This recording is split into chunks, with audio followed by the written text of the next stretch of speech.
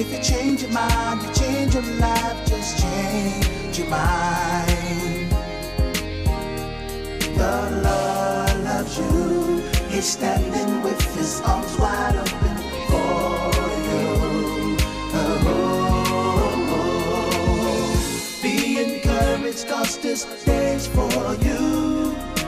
Don't you let this opportunity pass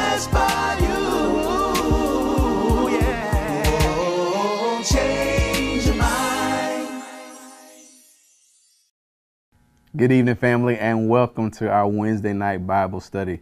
Thank you for allowing me into your homes. I hope you will let this word uh, penetrate your heart. God has really been dealing with us in this series, hasn't He? Really confronting us and giving us an opportunity, which I'm so grateful for, an opportunity to become healthier. And in order for us to become healthy, we got to look at some stuff, deal with some stuff that doesn't feel real good. But the pain isn't forever, the discomfort isn't forever. But once we go through that thing, it reminds me of the scripture that says, Your present suffering isn't worthy to be compared to the glory that shall be revealed after this. So we're going to try to get to this after this part of this. But this this past Sunday, we were still in the series Overcoming Your Losses, and we talked from the subject, I can accept this. I got tremendous feedback from you on this. Uh, quite a few folks reached out, and um, I think it I think it touched quite a few people. I know it touched me. It gave me some answers. It really started to make some sense of some stuff for me. And so let's pray, and we're going to get into this tonight, try to break it down even further for you, okay? Father, we thank you so much for being such a good and gracious God, God who always desires to draw near us, to give us answers, not to just make the hair stand up on the backs of our necks, but to give us answers so we can stand up in our lives. Thank you for being a God that desires to do a work into completion, to get us to a place of wholeness, a place of satisfaction, a place of fulfillment. Holy Spirit, I need your help always. Help me to be in a, a, a good partner with you tonight as we help others to hear your heart. Help me to hear your heart, that we might grow just a little bit more. In Jesus' name, amen. All right, let's look at the scripture so we can get to the meat of this. Well, the scripture is the meat too, so please don't hear it that way. Let's talk about uh, 2 Samuel, the 12th chapter and the 16th verse. And it says, David therefore inquired of the Lord for the child, and David fasted and went and lay all night on the ground. The elders of, the of his household stood beside him in order to raise him up from the ground, but he was unwilling and would not eat food with him. Then it happened on the seventh day that the child died. And the servants of David were afraid to tell him that the child was dead, for they said, Behold, while the child was still alive, we spoke to him, and he did not listen to our voice. How then can we tell him that the child is dead, since he might do himself harm? But when David saw that the servants were whispering together, David perceived that the child was dead. So David said to his servants, Is the child dead?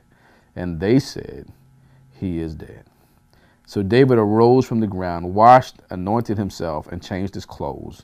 And he came into the house of the Lord, and he worshipped. Then he came into his own house, and when he requested, they set food before him, and he ate. Then his servant said to him, What is this thing that you have done? While the child was alive, you fasted and wept. But when the child died, you arose and ate food. And David said, While the child was still alive, I fasted and wept. For I said, Who knows? The Lord may be gracious to me that the child may live. But now he has died. Why should I fast? Can I bring him back again? I will go to him, but he will not return to me. And verse 24 says Then David comforted his wife Bathsheba and went into her and lay with her. And she gave birth to a son, and he named him Solomon. Now the Lord loved him. They were amazed at David's reaction when David finally received word that the child was dead, which is where we really get our, our, our title from. I can accept that. While we're trying to take full advantage of this gift of grief, there's a place that we have to get to that we kept drilling in Sunday and going to drill in some more. God is trying to get us to this place of acceptance. Now, Here's what often happens when, when we even hear that or even think about it. We don't normally hear acceptance, we hear defeat. And, and, and if you got a tenacious bone in your body, as we talked about Sunday, you don't want to let go of stuff when the outcome ain't what you want it to be. I, I know I'm that way. I've held on to stuff way far longer than I should have, and I know you have too. And that's that's the point we're trying to make with this portion of our studies. There comes a time when God needs you to let some stuff go. And you have to accept it for what it is. The old notion of it is what it is. And sometimes that's so hard for, for, for take charge kind of people, go getter kind of people, resilient kind of people, because sometimes we can tell ourselves that if I just run a little harder, if I just push a little longer, if I beg, if I plead, if I just fight, you know, I don't want to quit too early because because the next if I I might quit right before I was about to get my breakthrough. And th- there are some instances, y'all, where that's true. But as we spoke several weeks ago, we got to start using this thing called discernment. But we really start to talk to the Lord about show me how I should approach this thing. Holy Spirit, lead me in how I should approach this thing. And through that gift, you have to ask the Holy Spirit, is this something worth fighting for? that just what just popped in my mind was the scene when when when um, David and his men lived in Ziklag and they they went out to do battle with the uh, Philistines and they sent them back and they got back to Ziklag and they found out that the Amalekites had had raided their village and taken the people hostage and David asked the Lord the question should I go after it that that just hit me like a ton of bricks because you know, if it were me, and, and probably if it were you, I don't even think we stopped to ask God that. If you got my people, I'm going to get them. But David, in his dependency on God, said, Should I go? Should I go? Will I recover? God said, Go, and you will recover all. We have to get in the habit of asking God, Is this thing right here worth me fighting for. Not the people, because they got all these ideas and suggestions with very little information. Hmm? They only know partial part, they only know the story partially. God knows the whole thing. God, is this something I should fight for? And one of the points I wanted to drive home with you, and I want to drive it again tonight, the fact that you can get to this place of acceptance does not mean that you are in agreement with the results, that you're okay with the results. Acceptance is not agreement, not agreement with the results. It's an agreement with God, but I'm not good with the results, which means I still, I'm still going to have to go through some pain. We're going to touch on that in just a minute. I got to go through some stuff because I have to realize that my reality has won. This thing is real. This is exactly what has happened. We have to know when to accept it. But here's the good news.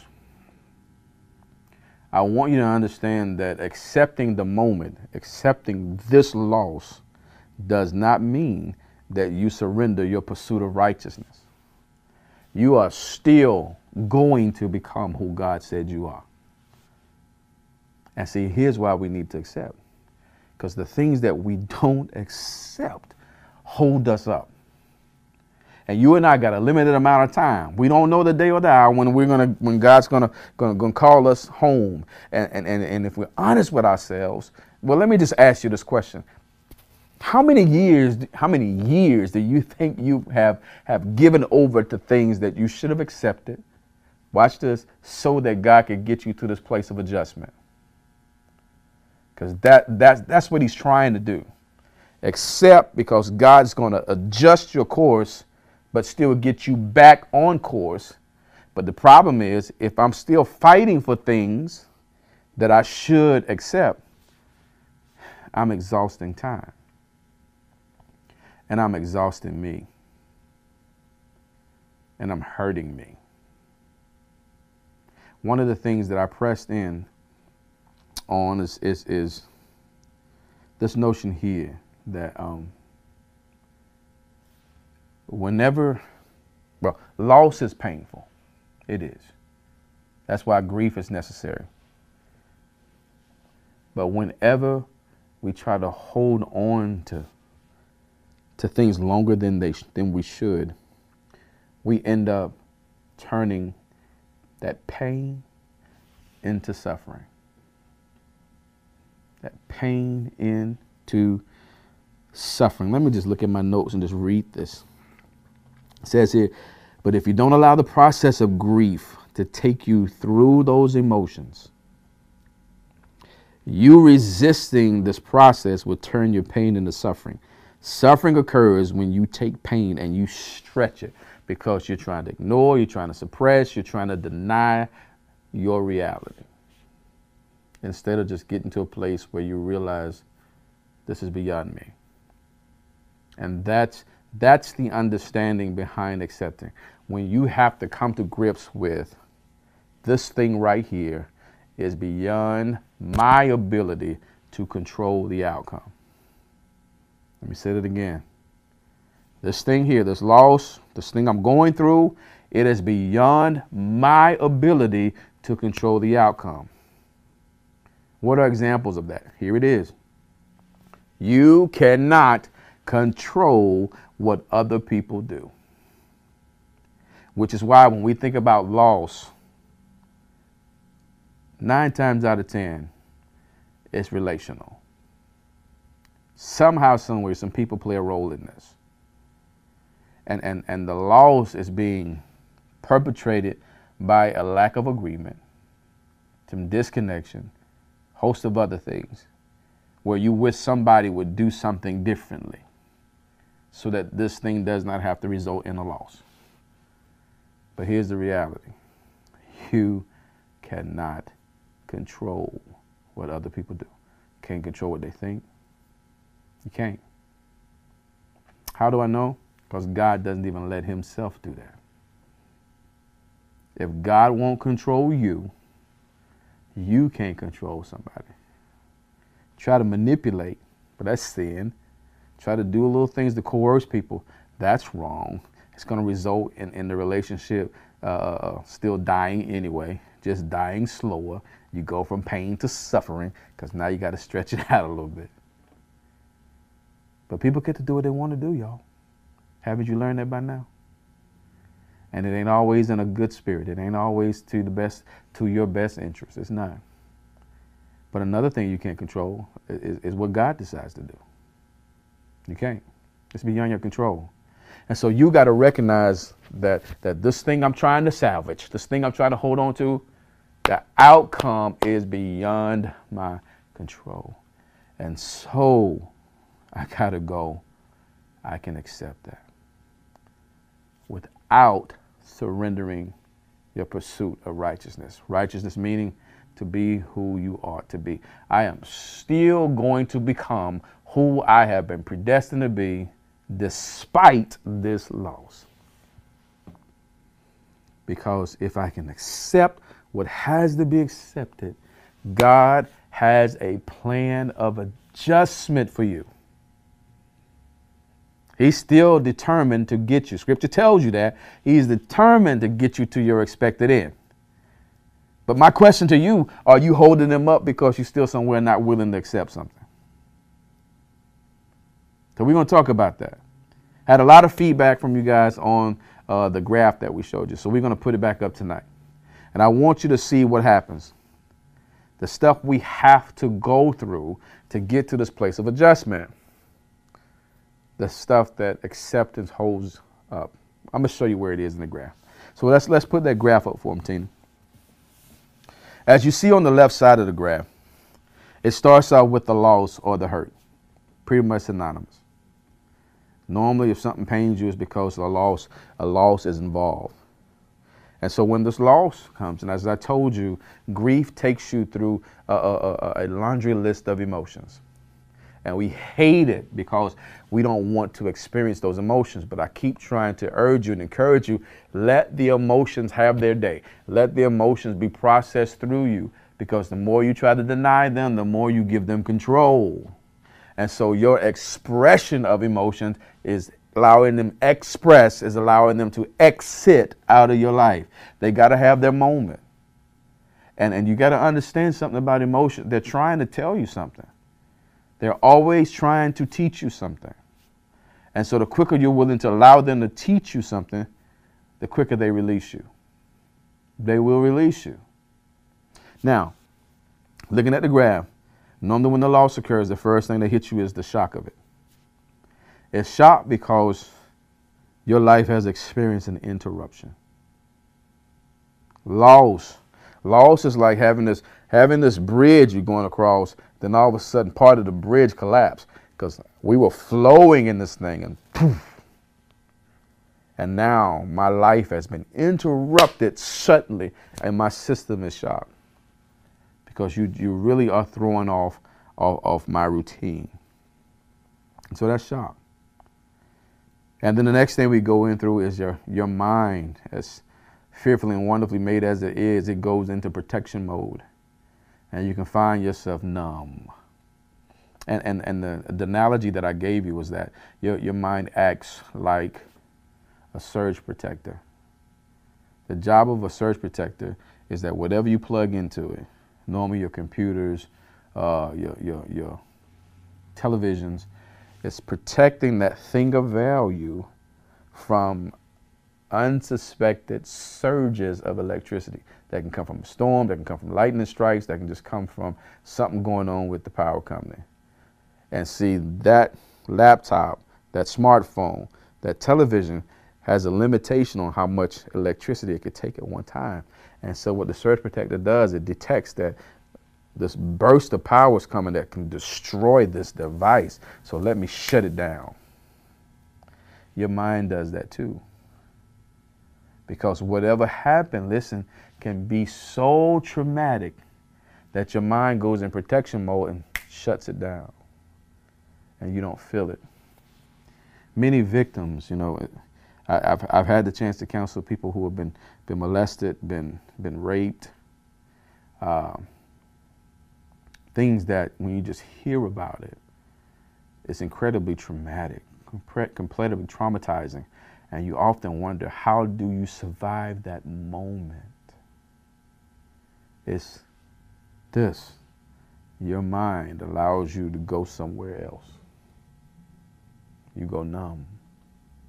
Numbness means I don't feel the experience. Because God, in His mercy, is giving you a chance to, to gather yourself so that you can begin to deal with the reality of it. Because you're still going to have to deal with it. The numbness is not a permanent state. And see, some of us try to make it a permanent state by, by, by, by alcohol, by drugs, by sex. I don't want, because I don't want to feel this, and I've taught you this before, is that, that Pain doesn't always, doesn't naturally motivate us to go find solutions to remove the pain. Pain normally motivates us to go find pleasure because I, I've got the hurt. I just need to find pleasure that exceeds the hurt so I don't feel the hurt in its full form. And so we still gotta we gotta migrate through these feelings because at each of these feelings, at each of these junctures, we have a decision to make if I pull myself out of the process, I normally pull myself into something else that's to hurt me further and deeper. I hope y'all hear that. As much as you don't want to go through this because it doesn't feel good, what, what, what, what you're allowing yourself to enter into normally has worse conditions for you later. And so we get through numbness and then my mind starts to allow me to begin to see my reality. And sometimes I'm still not ready for that. So you find yourself in this place of denial. Here's the place where you confront it with acceptance. Because denier said, this, this ain't happening. This, this is not real. I don't believe it. You know, you, you get a phone call that somebody has passed, shock, numbness. Think that I don't believe it. No, there's no way in the world. There's no way in the world they're gone. Denial or acceptance. Here's where you got to make the decision. Go, I can. I'm going to have to accept that. Because you, you stay in denial, and you're checking out of life. And you can tell by just that statement that that's not good for you. When you abandon the process, you take yourself to places that leave you worse. And so if I can get there and go, I, have got to accept this. Now I feel it. And I'm starting to feel it all. And that's why this next thing says emotional outbursts. I need you to understand that about yourself, but I also need to pe- need people who are with you to understand that about you. See, see, you don't need to just understand this this graph for you. You need to understand this graph for the people you love and care for. That when they're going through a loss, you might walk up on them when they're in this stage called emotional outburst. And you got to understand it ain't about you. It's not. It's, it's this overwhelming surge of emotions. And it's better for you to express it so that it can exit than for you to continue to be masters of suppression, tearing up your insides, tearing up your health, tearing up your, your core, destroying your gut health, which will leave you in a worse state later. So it's okay. You should be okay to cry when you lost something of great worth to you, great value to you. It should be okay. Men, kings cry. Men too. Quit, quit asking folks to learn how to suppress. Just be there with them. Quit trying to find something to say to calm them down. You know, I, I hate going to funerals or wakes or, or going to visit somebody who just lost somebody and people patting them, don't cry, don't cry, don't cry. Don't do that. Let them cry. Let them cry. Let them get that thing out. Then the next emotion, I'm laughing because it ain't funny, but I'm laughing at me. Anger. Once you accept this thing and you cry because of the pain of it, then you mad. And I chuckled at myself because as God has been teaching me this so I could teach you, the Holy Spirit had told me, said, this, this where you hover sometime. You hover right here. You mad, bro. you mad. And I'm like, I, am chuckling because I, I, I can see the video in my head. And what's funny is that my vocation and my responsibilities have to continue to go on, and I still got to meet with people and do all this kind of stuff. But underneath the surface, guess what? Some of y'all can relate to that, case because you got to go on with life. You got to be the good pastor, Pastor Jones. And pastors can't, pastors don't, don't supposed to be able to suffer loss. You're supposed to, you know, you got the anointing and God is with you and you ain't ever supposed to be mad or sad or whatever. And so you got to be blessed and highly favored at all times. But underneath the surface, you're like, ooh and so I've had to learn. Sometimes I have to step away from the vocation so I can be good to me because the vocation comes with it expectations, and sometimes so so misplaced expectations, as if we somehow became super with the title. And so I can be somewhere to express my frustration. So I can tell God I, I don't think he handling me right. He gonna win the argument, but I gotta express it. And also be be discerning about relationships that will allow you to tell your truth, but also be grateful for those relationships too. But uh, I'm determined that I won't hover around anger no more. I got some more folk out there that do the same thing. So we're gonna go and get through this. Go and be, because I, I think this, you know, God says, "Be angry, but sin not." God is saying you're gonna be angry. God, in that in that verse, I really do believe now that God is saying you're gonna go through some stuff some loss. Anger is natural. It is. part of the process. But don't sin. That's the part that gets us. Because when I'm angry, I want to do something. A lot of times I want to do something stupid. When you're angry, you, you, you want to transfer this anger to somebody else. Think about how crazy that is. That, that doesn't fix the issue, that, but, but I, I want to put this anger on somebody else. God said, listen, your anger is, is, is normal. It is. You, you lost something. You lost something that means to you. But don't miss it. Sin means to miss the mark. Don't miss who you are. Don't miss who God is. How about this? Don't miss who those people are to you. Because a lot of times when we get when we suffer loss, we start taking it out on people who had nothing to do with it. And then once you get through the anger, now you got this this this this damage over here you got to go deal with. Or it might be another loss. Because you might have mishandled them to the degree that they don't even want to really do deal with you anymore. God said, don't mess up everything else because you're angry. Give yourself the right to cry, to go out in the woods and scream, do whatever you got to do to get that outburst out, but don't get mad and create wounds for others. Does that make sense to you?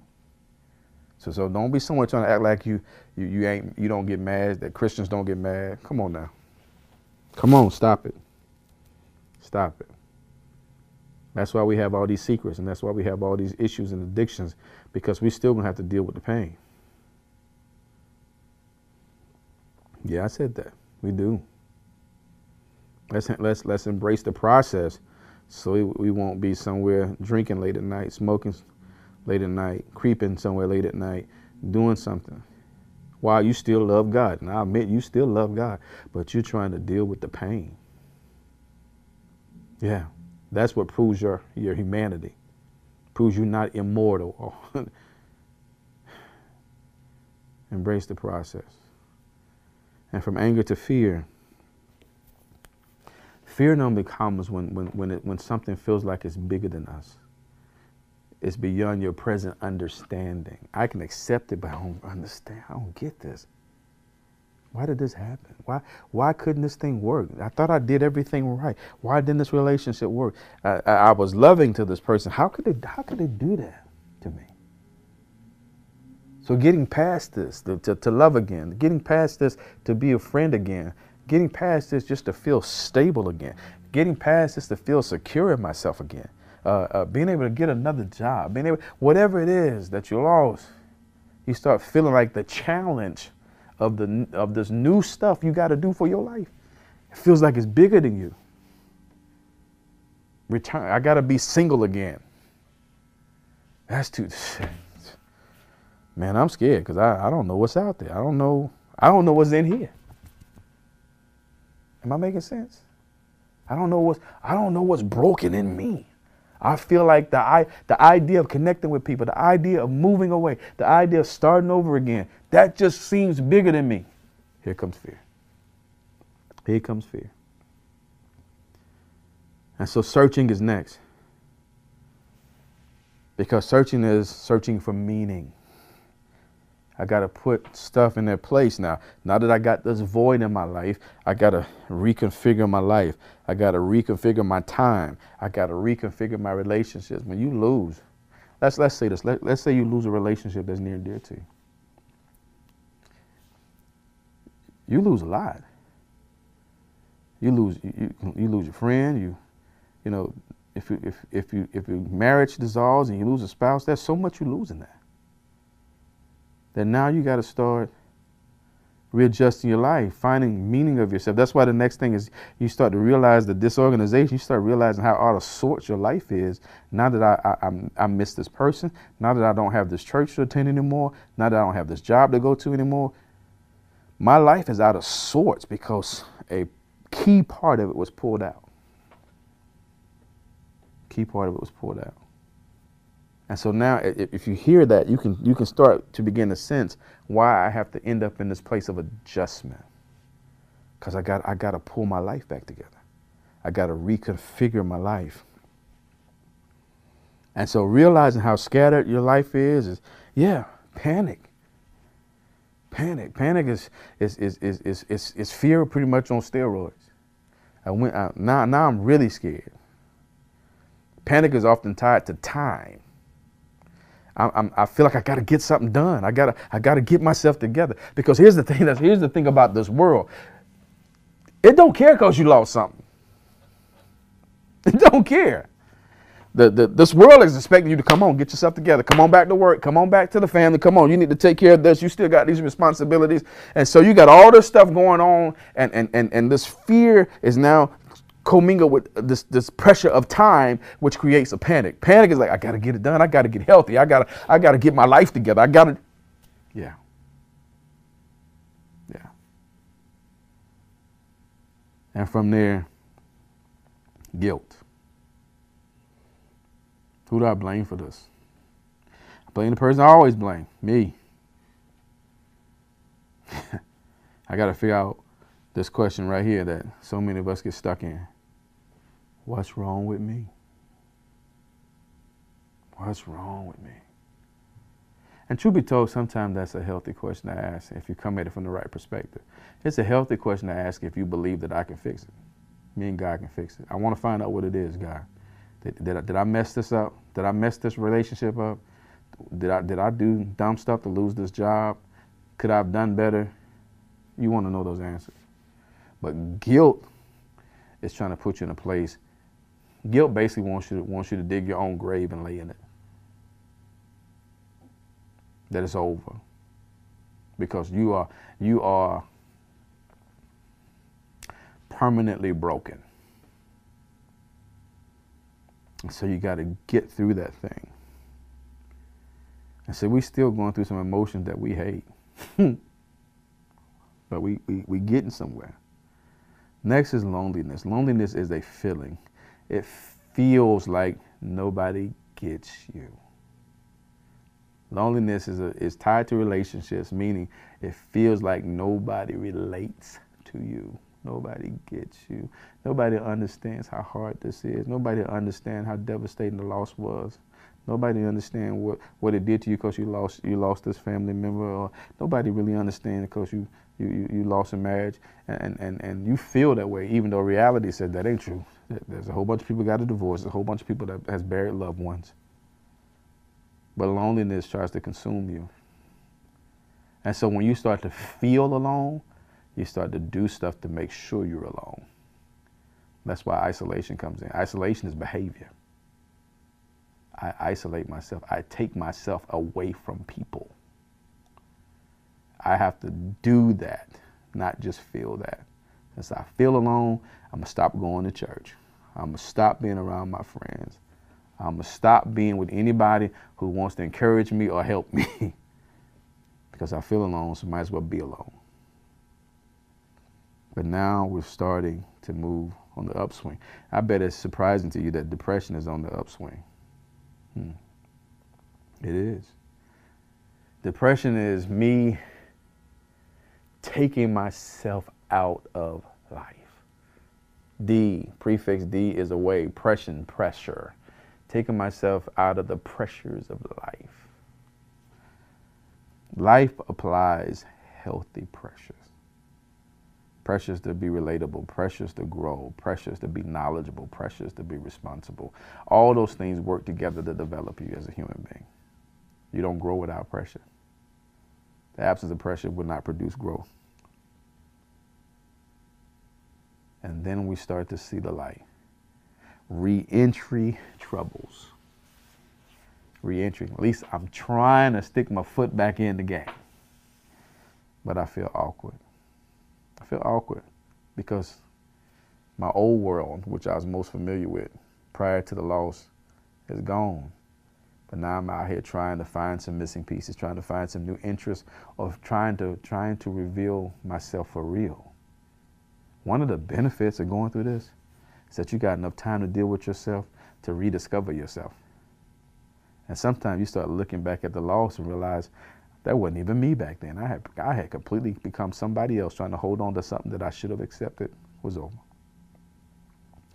But the awkwardness is you trying to learn to get your sea legs again, walk back into life. And what surprises you is that you're capable of building new relationships. Y'all see that? You're still attractive And I'm not just talking about physical, I'm talking about who you are, your personality. People still want to hear your conversation. And then you go from there to new strengths. I start to feel good about me again. And so now I've developed new patterns, new routines, new people to call, new places to go. I start filling the gap that the loss left. And once I start filling the gap, this wonderful feeling called hope comes in, which means I feel like the outlook of my future is looking looking much better. So much so that affirmation plays a part. I start talking right to myself. I start feeling good about me and telling myself what I'm capable of. I'm starting to dream again. I'm starting to talk positively to myself because my voice is the greatest voice in my life. And I'm also willing to help other people because I begin to reckon I begin to recognize where they are in the pattern. And I can speak life to them there and encourage them there. So I can finally land in this other place of adjustment. So I walk through the valley of the shadow of death to get to this other side where God shows me that my future is still intact. Just had some adjustments. That's the thing that happened with David. King David was told by God that, listen, this baby's not going to live, sir. This baby's not going to live because of how this baby came about. You shouldn't have been with Bathsheba. You shouldn't have been with Uriah's wife. And so there has to be consequences for your sin. David, being a man of faith, decided he would still seek God. And so we see David in, in the grips of anticipatory grief. He's anticipating the loss because God said it's coming. Several of you have, have, have been in the grips of anticipatory grief when you learn that somebody has a set time to live, uh, or you have a, cal- a date on the calendar for the divorce, or whatever it is, you, you know the loss is coming. And so you start going through the cycle early. David was doing just that. What did it say in, six, in 16 and 17? David inquired of the Lord about the child, and the elders of the household stood beside him trying to get David up off the ground. David would not eat. David was in sackcloth and ashes out there pleading with the Lord, hoping to change God's mind. And then the Bible says on the seventh day the child died. God put seven in there on purpose because seven is the number of completion.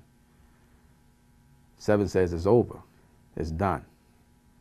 Heaven is declaring to David, this one's over, son, it's done. The problem with you and I is that we got some things that we're holding on to that we've been standing in the seventh day for so long. God is trying to tell you, this, this one's over. This is over, but you're not. But if you stick with this, you're over too. If you stay with the dead thing, you're dead too. Because you're not embracing the life that comes after it. That's where the king found himself. And I want you to begin to talk to God about what, what am I holding on to that's in its seventh day? What am I crying over, God, that I should just simply be able to have the courage to say, I can accept that. Because the thing is, and, and we're going to end this with this tonight. My acceptance gets me back to life. It's really that simple, it's that clear. Because God still has a plan for you. God still has a plan for you. God knew this event was going to take place in your life, but He still called you to that expected end, meaning that God has made preparations for you to be able to get through that mountain, around that mountain, and get back on track. So that you can look back at the loss as a lesson instead of a permanent indictment. It was not a place that you were to die, it was a place that was going to mature you when you took the lesson out of it. Did you hear that? It was a place that was going to mature you and prepare you for the next leg of your journey once you took the lesson. And, and unfortunately, some lessons come wrapped in barbed wire and broken glass. They hurt. But when they hurt, you're not quick to forget them. And you're not quick to not use them. David understood some things. And so David was able to get through this stuff so much so, listen, that, that when God blessed him with another son, look at that right there. Who blessed him with another son? God.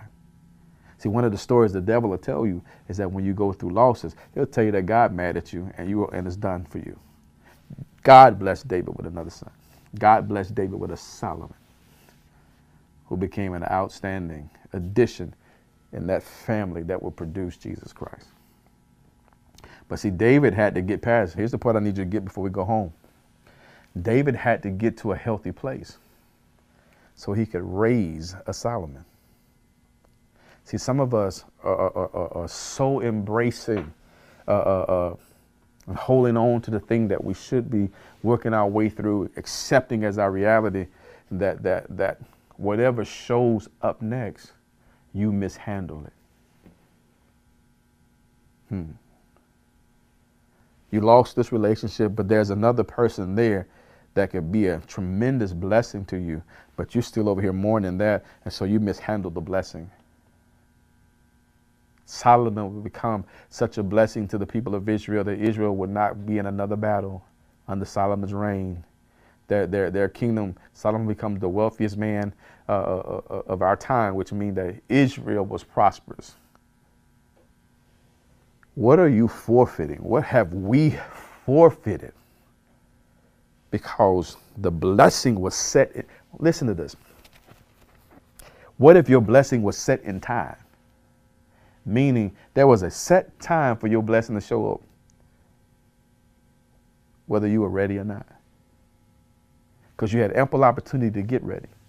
How many things have you, how many things do you think we have missed that was set to show up this date, this year, and it came, but you couldn't even appreciate it nor handle it because you were still holding on to things that you should have already pronounced dead? Hmm.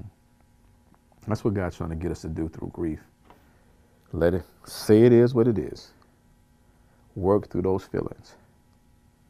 Work through those adjustments. Find yourself back in the light of day and back on your path of wholeness, healing, deliverance, and meeting God at the place He designed for you to meet Him at. It's possible, y'all.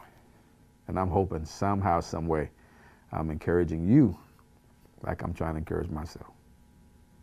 All right. The takeaway for the lesson was we have to realize when reality wins without us believing that our expected end has now been canceled.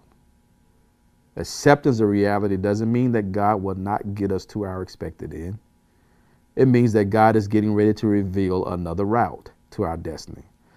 Listen, this is the part I like. All while healing our souls all things still work together for our good, even these painful losses. And so these last four words are an invitation for you, brothers and sisters. Grieve, brother. It's okay. Grieve, sister. It's okay. Not only is it okay, it's necessary. Before we let you go tonight, I want to extend an opportunity for salvation, the greatest gift that God has given us to purge us and to make us His. You know you need Him. So, right there in the privacy of your home, right there in the privacy of your car, wherever you are watching this, I want you to give God a yes and allow the beginnings of your healing to start tonight. If you're ready, come on, repeat after me. Say, Father, thank you for Jesus. I confess with my mouth that Jesus is Lord. And I believe in my heart that God raised him from the dead.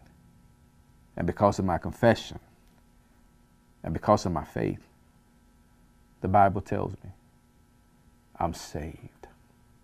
Holy Spirit, come live inside of me. Heal me. Show me a preview of the life I can live if I would just heal. Thank you, Lord. In Jesus' name. Amen. I also want to give you an opportunity to sow into this ministry so we can keep doing what we do in hopes that really my main thing was what we just did in hopes of getting somebody to say yes to God. And so if you did say yes, welcome, welcome, welcome. So proud of you and so excited about the prospects of your great future. One that was one that's so great that Christ died for you to have it. And so, for those of you who will and can sow into the ministry, please do so. You see our, our, our options there on the screen. You can uh, go online at our website at cymm.org forward slash give. You can see us out there on the Givelify app. You can also um, uh, do it through our Cash App at dollar sign we are CYM. And you also see there on the screen our mailing address. If you are on Facebook, you can do it straight through Facebook. And our friends on YouTube, thank y'all so much for tuning in. And we appreciate you supporting us financially as well. All right, guys, we got another Wednesday night in the bag. I'm glad you tuned in. I'm glad you are committed to your own growth. Take these notes, meditate on these notes. And oh, yeah, if, if you didn't share, I keep forgetting to tell y'all to share. I'm getting older. share now. Put it on your page so that when your friend, friends scroll through, uh, they'll, they'll see, see it on the timeline. I think it'll bless them. I think it'll give them some understanding. And all our getting, we need to get understanding. And so thank y'all for allowing me to sit here and just calmly talk you through it because I need you to get it more than I need to impress you. All right.